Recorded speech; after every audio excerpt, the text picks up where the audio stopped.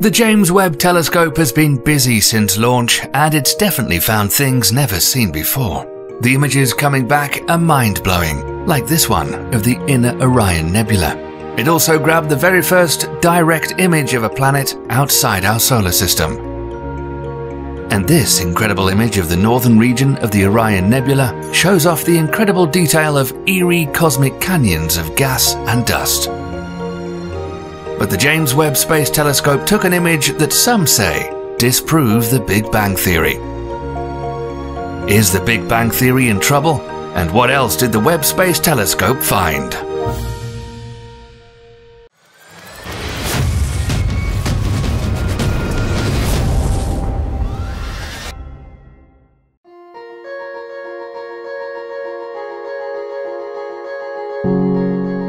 On Christmas Day, December the 25th, 2021, astronomers held their breath as an Ariane 5 heavy rocket carried the James Webb Space Telescope into space.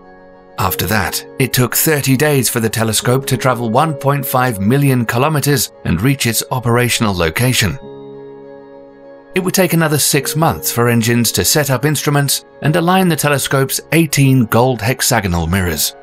But on July the 12th, 2022, it sent back its first images that stunned everyone. One of those images now holds the record for the deepest view of the universe ever taken and shows the galaxy cluster named SMACS 0723 as it appeared 4.6 billion years ago. The cluster of galaxies is so heavy that it warps the light from much more distant galaxies behind the cluster. But this image reveals so much more than the original Hubble Deep Field image, and it's just a tiny sliver of the vast universe. One of the big surprises is that the galaxies caught in the image are much more massive, and the other is that they are far more structured than previously imagined. In other words, no one believed these galaxies could be so well organized in the early universe. Is this the reason that a well known science writer, Eric J. Lerner, believes the newly revealed galaxies in the Deep Field image from the James Webb Space Telescope prove there was no Big Bang and the universe is much older and static? Lerner wrote a book in 1991 called The Big Bang Never Happened and instead believes in something called plasma cosmology. Of course, many online channels jumped at the chance to parrot the false information. But is there any truth to Lerner's theory? While it is true that some unexpected images of galaxies came back from the $10 billion James Webb Space Telescope, the Big Bang Theory is still holding up strong. As the late great Carl Sagan once said, extraordinary claims require extraordinary evidence. So far, Mr. Lerner hasn't provided any solid evidence to support his theory despite the false rumor that the Big Bang never happened because of the amazingly detailed JWST Deep Field image. The other images from the Space Telescope were equally incredible. One of the most breathtaking and unexpected images was taken of the planet Jupiter in August 2022. Giant storms, powerful winds, and auroras can clearly be seen, and it certainly looks like Jupiter has a whole lot more going on than previously thought. In the photo, you can see Jupiter's dust rings and its moons, Amalthea and Adrastea.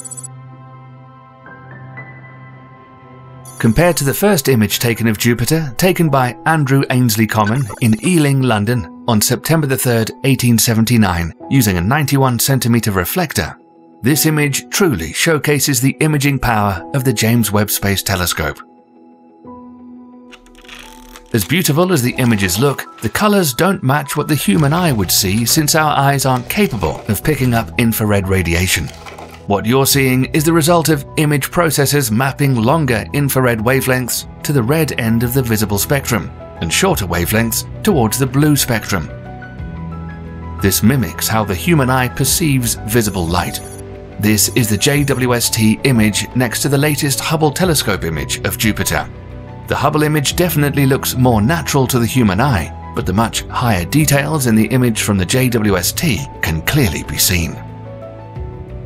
But this isn't all the mega billion dollar telescope has imaged and discovered.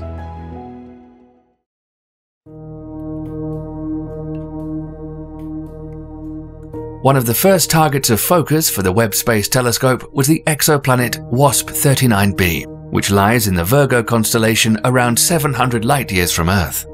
This gas giant planet is a bit bigger than Jupiter and orbits what astronomers call a G type star.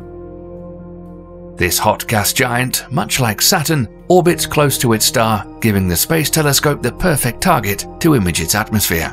NASA's Hubble and Spitzer space telescopes revealed the presence of water vapor, potassium, and sodium in the planet's atmosphere.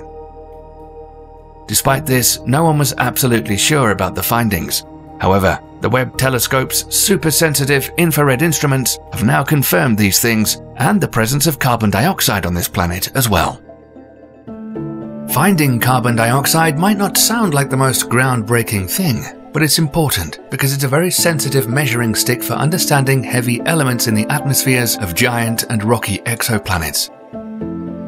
The James Webb Space Telescope also used its near infrared spectrograph on Mars on September 5, 2022. The NIRSpec module can easily detect the spectral signatures of carbon dioxide, water, and carbon monoxide. Not only that, but a preliminary analysis of a spectrum with a rich set of spectral features can contain information from dust and icy clouds to even what kinds of rocks are on the planet's surface. With this kind of power, the James Webb Space Telescope is just getting started. Recently, the Webb telescope focused its powerful gaze towards Neptune and grabbed this ghostly image of the planet and seven of its 14 known moons.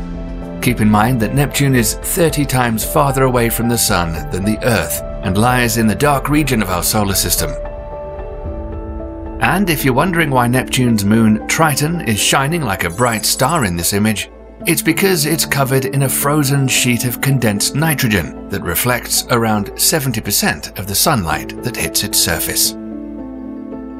These images look a lot different than the images we're used to of seeing Neptune as an icy blue orb, the difference is these images were taken with Webb's near infrared camera, range from 0.6 to 5 microns. This is why Neptune doesn't look blue to the Webb telescope.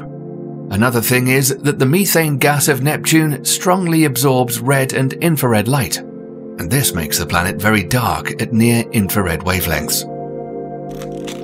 JWST also grabbed a few new images of Stephan's Quintet, a group of galaxies that are close enough together that they give astronomers a front row seat to galactic mergers and interactions. In other words, Stephan's Quintet is a sort of cosmic laboratory that's going to allow astronomers to see how galaxies merging together trigger the formation of stars. The image shows clusters of millions of young stars and sweeping tails of gas and dust being pulled on by the gravitational interactions of the galaxies. The most dramatic part of the composite image is the huge shock wave of the galaxy NGC 7318b as it smashes through the cluster. But if you want to see something really incredible, then take a look at the NIRCam image of the Tarantula Nebula. It's a mosaic image that stretches 340 light years across and shows tens of thousands of young stars that have never been seen before because they're shrouded in cosmic dust.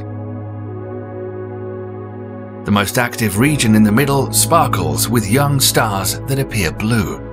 To the upper left of the young star cluster is an older star shining brightly and displaying the distinctive eight diffraction spikes that's an artifact of the Webb telescope structure. Farther from the core of the young stars, cooler and much more dense gas takes on a reddish rust color, complex hydrocarbons that will form future stars. New images coming from the James Webb Space Telescope really showcase its power. This is the heart of the Phantom Galaxy imaged with the telescope's mid-infrared instrument. In this incredible view, masses of gas and dust are sharply highlighted within the galaxy's arms, with the dense cluster of stars at its core. Another jaw-dropping image is the cosmic cliffs image from the JWST's NIRCam. The image reveals star birth that couldn't be seen before thanks to the near-infrared camera. The cosmic cliffs is a gigantic gaseous cavity about 7,600 light years away from us. what looks like steam that appears to rise from the celestial cliffs is actually hot ionized gas and dust that's streaming away from the nebula due to intense ultraviolet radiation. Bubbles and cavities are blown into the gas and dust from the intense radiation and stellar winds of newborn stars. These images are certainly impressive, but what about all this talk of James Webb Space Telescope being able to look back in time? In July 2022, after the first images were shown to the world, the James Webb Space Telescope found what some astronomers are calling the oldest galaxy ever seen. They named it Glass Z13, and its age has been dated back to 300 million years after the Big Bang. This galaxy is so far away from us that it's taken 13.4 billion years for its light to reach us. But because of the expansion of the universe, the distance between us and the galaxy is now a mind boggling 32 billion light years away. Eventually, in the very distant future, the amount of galaxies that we can see, including Glass Z13, will grow far less over time as they slip past the observable edge of the universe. The discoveries have been incredible so far, and from estimates made by engineers, the telescope should have enough power to work for about 20 years, opening the universe to us. But this is as long as the mirrors stay undamaged. The James Webb Space Telescope has already sustained permanent damage when a micrometeoroid struck one of the mirrors.